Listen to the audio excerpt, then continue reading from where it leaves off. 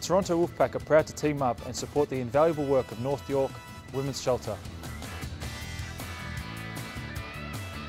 North York Women's Shelter is one of Toronto's oldest violence against women shelters. International Women's Day is so important for visibility around the issue. The significance of International Women's Day is huge. Women have a very vital role in community. Uh, I'm very fortunate to have a lot of good women in my life.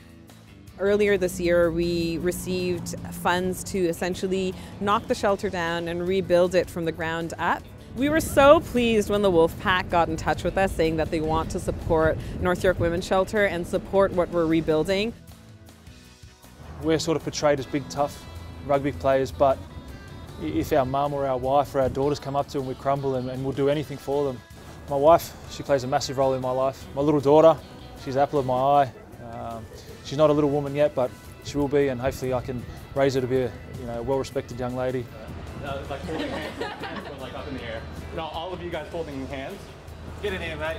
Yeah. So we're hoping a lot of young folks get inspired by what the Wolfpack is doing. Um, we know that the players are heroes to so many people and are inspirational to so many people. You can help with, of course, donations, but you can also help with volunteers. We're always looking for um, people to spread the word. So there's multiple ways to get involved.